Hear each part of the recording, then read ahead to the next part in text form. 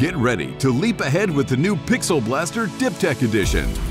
The result of working with our customers' expert users, this advanced RIP includes a new job editing feature, is very user-friendly, and it's compatible with Windows 10. It also includes the unique new Vector Effects module, specially developed for Dip-Tech users. Vector Effect enables any user to create abstract designs suitable for printing on glass. Minimal graphic skills needed. Start by considering the space-requiring design. Choose a color palette or any image with the desired colors.